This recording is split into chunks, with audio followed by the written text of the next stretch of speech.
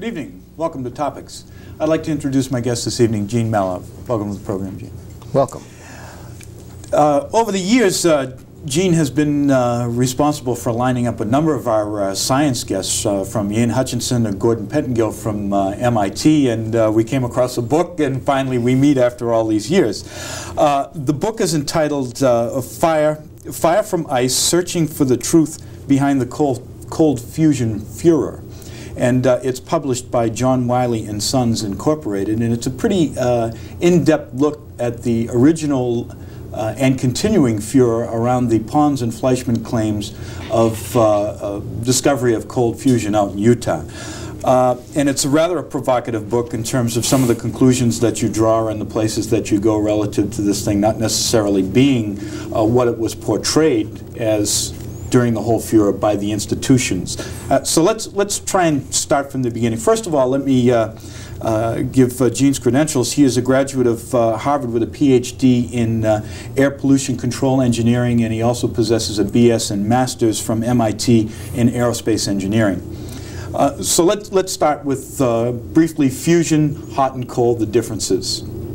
Hot fusion, which is something that researchers have been pursuing for decades now, about four decades, is the promise of taking hydrogen, special kinds of hydrogen from the ocean, from any water, uh, you know, water is H2O, and there's lots of special kind of hydrogen in that water called deuterium, an isotope, a rare form. Putting it together in very high magnetic fields, stripping off the electrons around the atoms and at millions and millions of degrees banging these nuclei of hydrogen together to attempt to form things like helium and tritium and so forth. And getting vast bursts of neutrons out or vast fluxes of neutrons out, which then can be used to, to obtain heat. Okay? Make steam, produce Make steam, right. Okay. A new type of nuclear energy, mimicking, in a way, the stars. That's hot fusion. Now, the nearest possible commercial application of this technology is believed, even by its proponents, to be about three decades in the future. And it's a noble quest, and I've been fascinated by it since I was a kid, in fact, and read some of the earliest writings about hot fusion. Now, in 1989, Dr. Stanley Pons and Martin Fleischmann at the University of Utah in March made a fantastic announcement that everyone was shocked by. They said that in a tabletop experiment using heavy water, which has that hydrogen isotope that I just referred to, and a palladium metal rod and a platinum rod, and passing a current through and getting the deuterium of the heavy water into the palladium, somehow they were able to generate, they claimed, excess power. In other words, more power coming out of the cell in the form of heat than was going in, in terms of the electricity. All right, now that was a remarkable claim. It was certainly something that went far beyond what the hot fusion people had been able to do. And it was in an entirely different environment. And in fact, everyone knew on that very day that if that reaction was really fusion and it was working in the same way that hot fusion was working, then Pons and Fleischmann would be dead. No question about it. Because all the neutrons from that conventional fusion reaction producing watts of power, or a fraction of a watt of power, would have killed them. No question. So it had to be something else.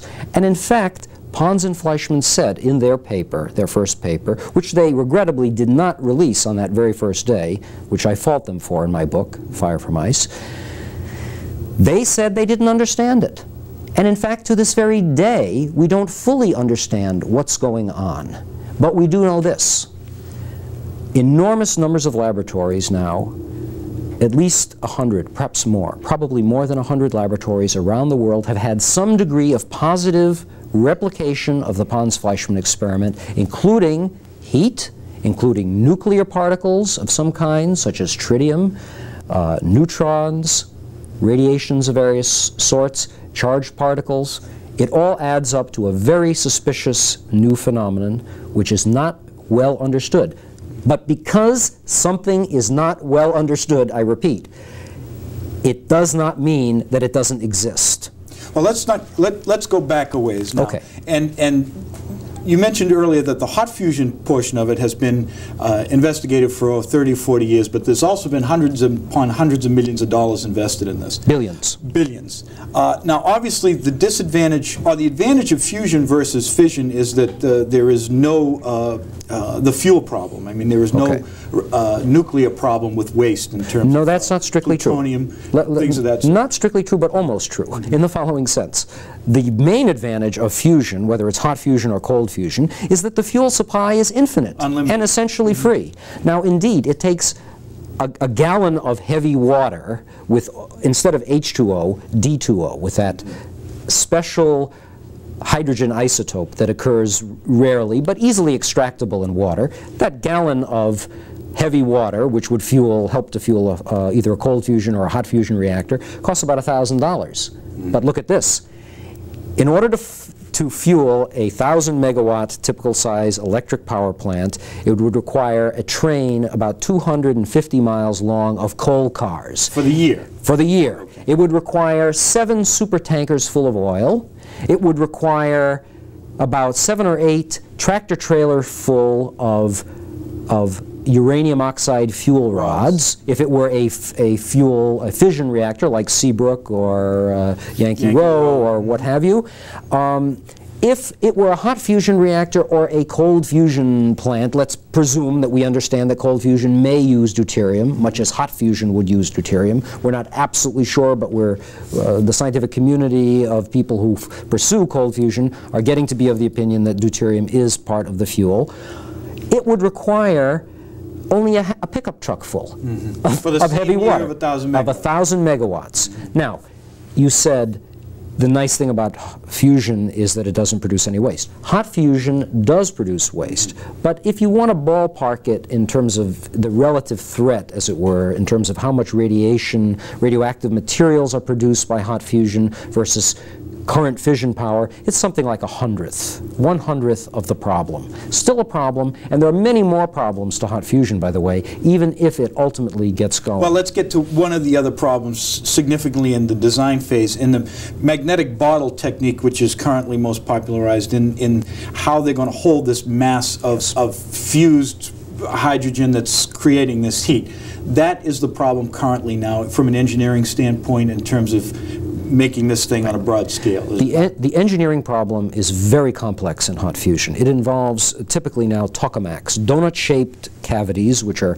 evacuated to h- very high vacuum, and then a small amount of fuel, in th- this case deuterium. They also put tritium, which is another kind, a radioactive form of hydrogen, mixed together in 50-50 proportion, and then scrunched down in various ways with all kinds of complex magnetic fields, electrical fields, uh, radio frequency power that has to be injected to strip the electrons off, and so forth. It's a very tricky business. But they have managed to get these systems, these tokamaks, which now number something on the order of 100 have been built around the world as experimental prototypes. They are nearing what you would call break even. That is, as much electrical magnetic power being put in as may come out when they put the final tritium fuel in. However, far from a practical device the conditions of vacuum, the instabilities in this hundreds of millions of degree plasma make it a very finicky machine at best. B- by the understanding of everybody, no one is denying this for a minute. It's a tough engineering problem. Okay, what I'm setting up here is the basic conflict that arises. Mm-hmm. We have all of these enormous complex problems relative to hot fusion, all of this enormous amount of money and Mm-hmm. great brain power that's dedicated to it.